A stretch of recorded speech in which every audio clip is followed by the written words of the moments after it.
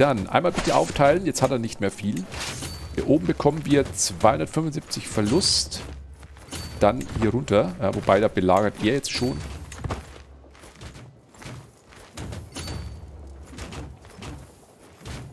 Wir sparen uns mal ein bisschen Verschleiß. Wieso nicht?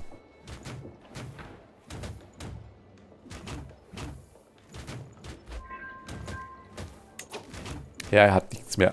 850 hat er noch. Nicht mehr? Okay. Oh, Böhmen hat die Gunst der Stunde ergriffen.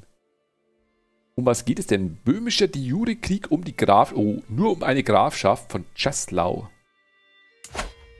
Czeslau, hier drüben. Ah, Böhmen will Richtung Gniezno, habe ich das Gefühl. Steckt auch die Fühler Richtung Osten aus jetzt. Wunderbar. So, hier ist fertig belagert. Müsste jetzt hochticken. Komm, wir jagen die 800 noch. Und da ist er schon durch. So, mein Lieber, zweiter Krieg in Folge und du musst schon wieder klein beigeben. Und damit ist das Herzogtum vollständig, liebe Leute. Das freut mich sehr. Das Herzogtum Bayern ist damit in hundertprozentiger Hand von Gniezno, genauso wie es historisch auch sein muss. Der Gniezno-Run hat mich ein bisschen auf die Ostseeregion aufmerksam gemacht, deshalb habe ich einen Durchgang mit Preußen angefangen. Bin mir nicht sicher. Ich glaube, wir haben mit Preußen auch schon mal, oder mit Prutzen, wie es hier heißt, ne, gespielt.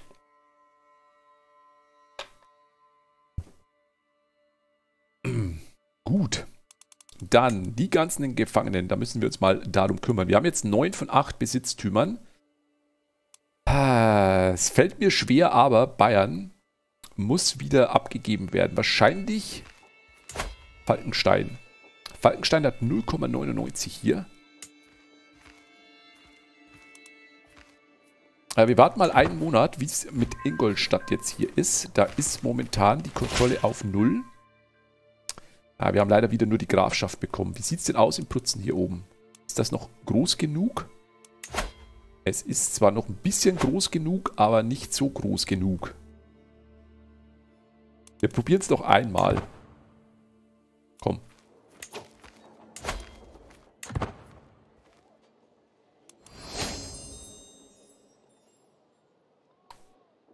So, bitteschön das Gebäude reaktivieren. Hier steht, wird im nächsten Monat reaktiviert. Jetzt sind schon zwei Monate vergangen. Bitte reaktivieren Sie die Gebäude.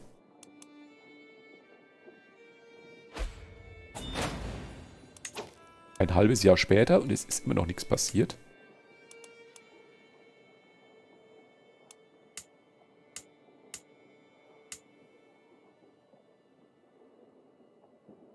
An jemanden aus der eigenen Dynastie äh, vergeben.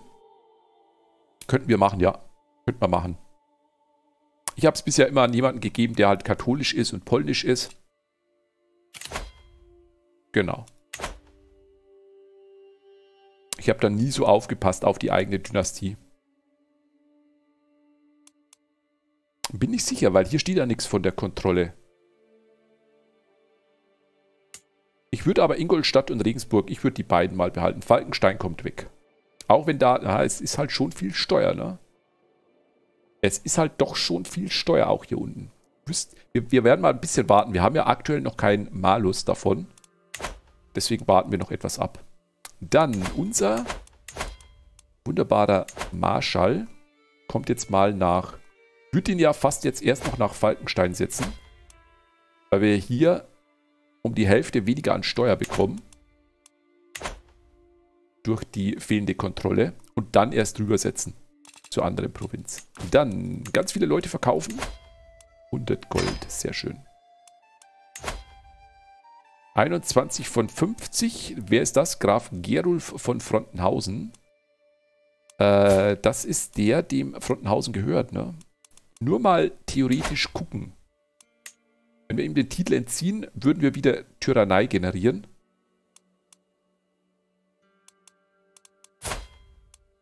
Wir haben aktuell wie viel Tyrannei? Noch 16 Punkte, also das geht. Wir könnten Frontenhausen hier den Titel entziehen und das dann gleich auch jemand anderem geben. Ich würde das machen.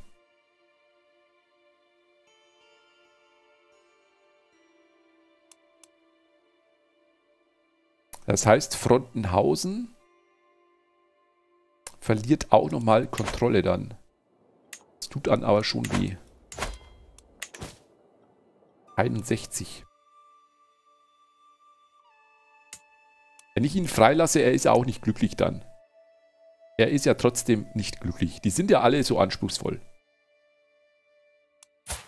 Hm. Wisst ihr was?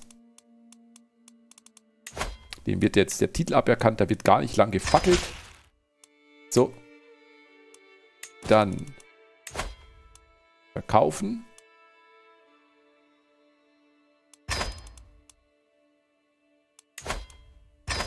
Bisschen Geld fordern. Und dann müssen wir halt die Kontrolle, äh, äh, ja, die Kontrolle wieder aufbauen. Gut. So, ist jetzt hier schon was... Glaubst du, dass wir wegen der äh, Domain-Schwelle, dass wir hier diesen Malus nicht wegbekommen? Dass es deswegen ist, ne? Das heißt, wir müssen es abgeben. Wir werden Falkenstein abgeben. Ich will die zusammenhalten. Falkenstein und Frontenhausen geben wir an eine Person. Dann müssen wir uns weniger damit herumärgern. Wir gucken mal in unsere Dynastie. Ah, Oberschlesien. Nozi.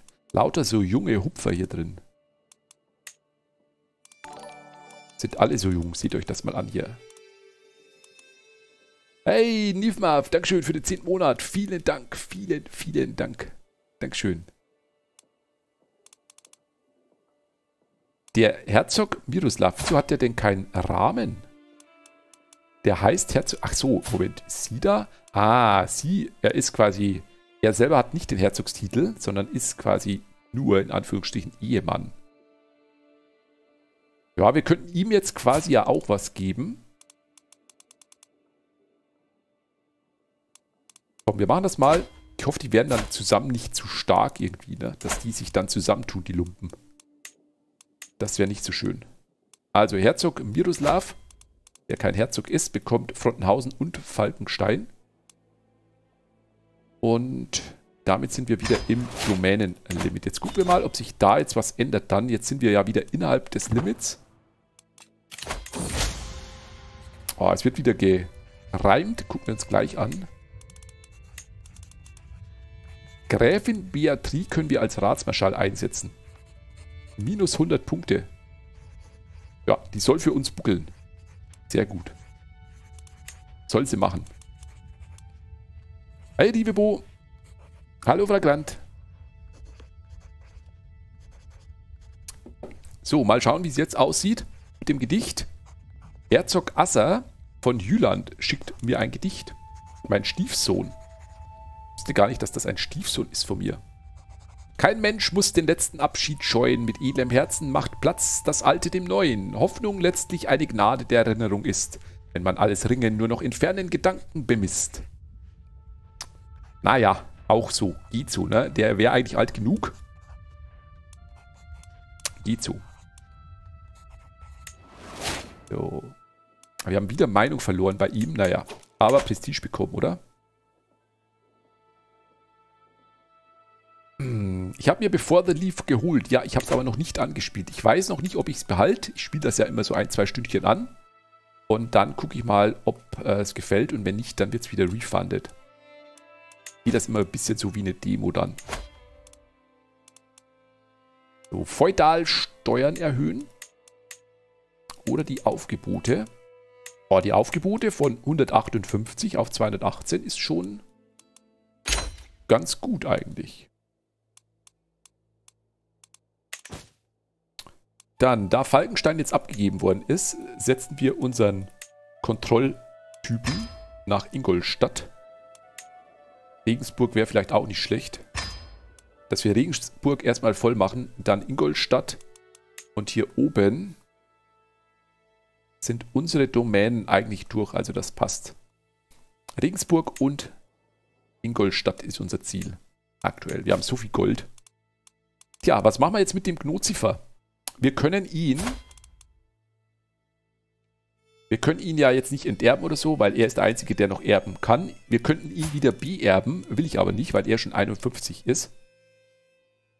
Wir müssen wohl damit leben, dass er einen Mordanschlag auf uns geplant hat. Er hat mittlerweile zwei Kinder. Ich bin sehr unglücklich über diese Situation. Müsst ihr euch mal vorstellen, wir sind so ein alter, weiser König, der immer sehr ehrgeizig und, und äh, bestimmt geherrscht hat. Und dann stellt er plötzlich fest, dass sein einziger Erbe, den er auserkoren hat, ihn, äh, ihm in den Rücken fällt und einen Mordanschlag plant. Er ist halt, ah, ist schon 32, ne? Ich, wir haben ja extra ihn genommen, damit wir mit ihm relativ schnell Frömmigkeit aufbauen können und die Religion reformieren können. Und jetzt will er einfach nicht sterben. Na gut. Aber das ist einfach so. Ich werde da jetzt einen Teufel tun, um da irgendwas zu machen. Ich werde stattdessen die Untertanen erpressen. So sieht es nämlich aus, weil wir uns das leisten können. Und die mystische Kommunion werden wir auch noch abhalten. 232. Der Papst gibt uns ja sowieso keine Kohle aktuell.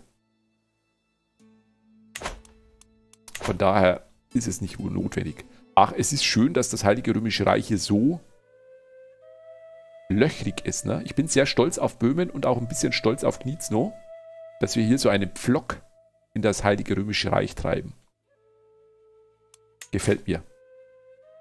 Es wäre schön, wenn ich den Notziffer irgendwie... Oh, guckt euch mal das an. 27%. Das ist gelingt nur. Ah, ich möchte ihn irgendwie ein bisschen triezen, ne? So ganz... Wir könnten ihm die Begnadigung gewähren. Denunzieren. Machen wir aber nicht. Bräuchte irgendwas mit Pisaken. Irgendwas mit Pisaken.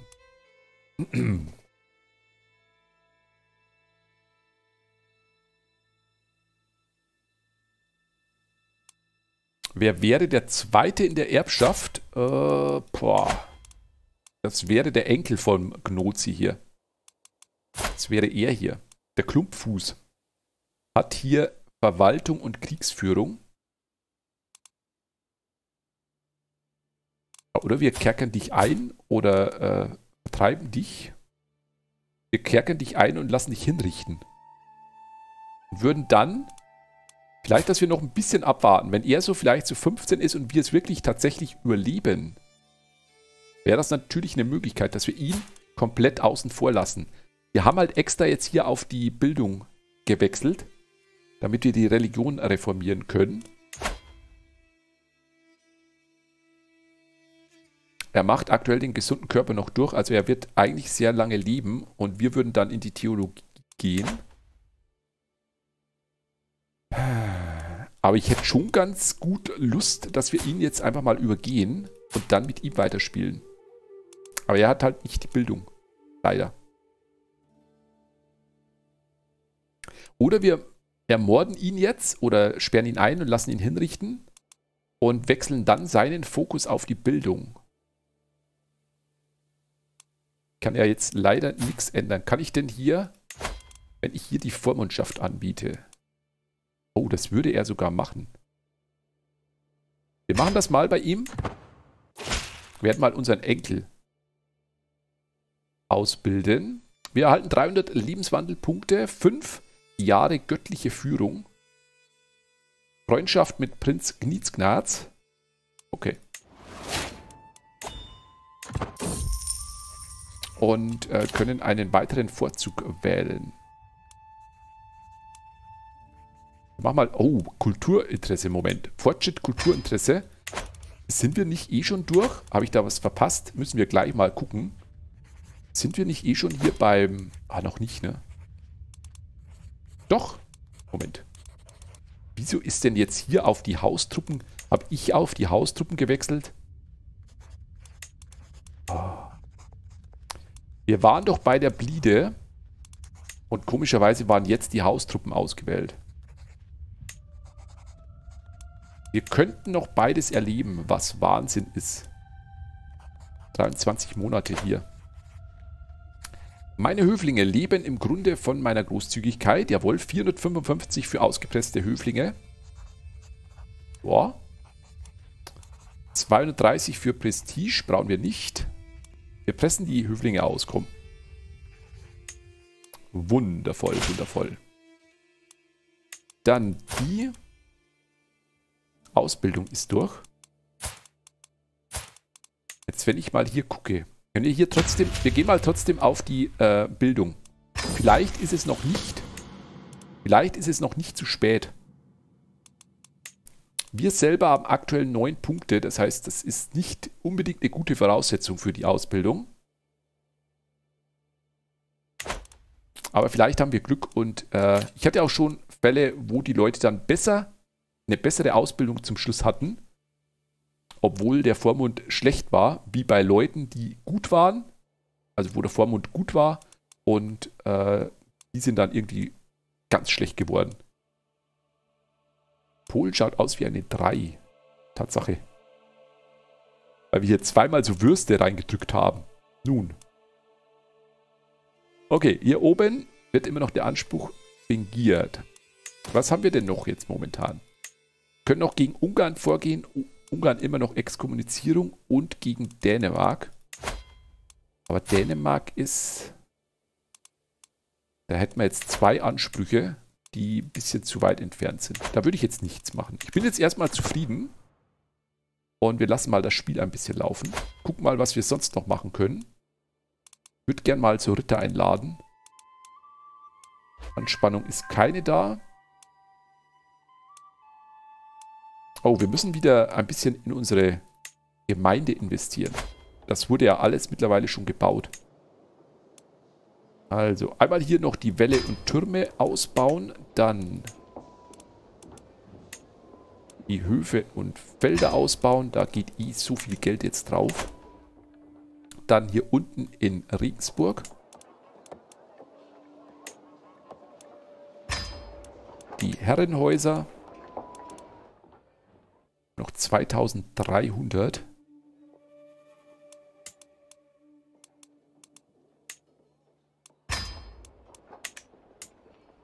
Weil sobald wir, sobald wir dann nämlich die entsprechende Kultur, das entsprechende Kulturinteresse haben, können wir wieder schön in die, in die Vollen beim Kriegsvolk gehen.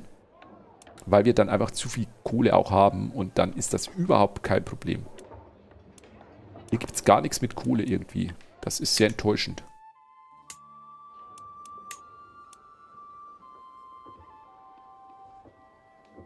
Oh, Jagdreviere 95.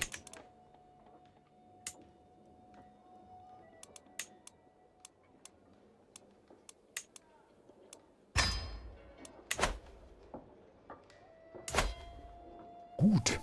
War das alles hier oben? Wir müssen erst im Kulturinteresse wieder schön weiterkommen. Ingolstadt könnten wir noch machen.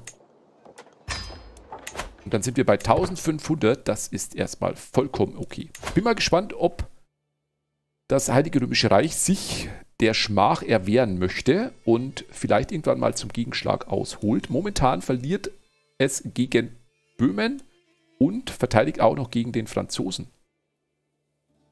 Jeweils beim Krieg um eine Grafschaft. Ja, da wenn du einmal, ne, einmal Schwäche gezeigt, dann stürzen sich alle wie die Geier auf dich. Das geht mir auch ab und zu so. Herzogin Maria beeinflussen. Tapfer, unersättlich, sprunghaft. Weise Frau. Ja, die liest bestimmt auch ganz gern. Ja, Nutze ich fast nie hier. Äh, meinst du, meinst du das hier? Äh, in der Domäne hier drin? Das nutze ich eigentlich fast nie. Hier? Ja, das siehst du halt nur, wo noch nicht gebaut wird dann, ne? Aber so viel Domain haben wir jetzt auch nicht, dass wir die nicht durchklicken können.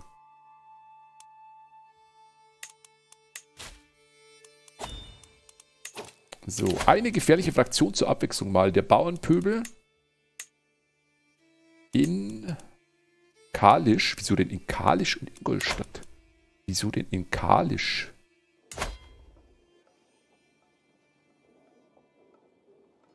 Wieso ist hier immer noch...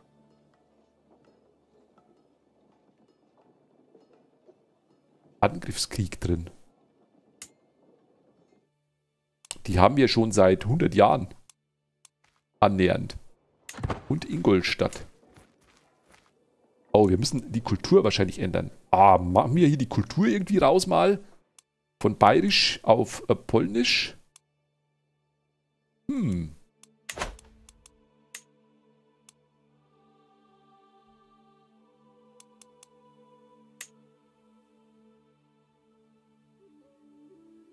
Wir lassen die Bayern Bayern sein. Da machen wir gar nichts.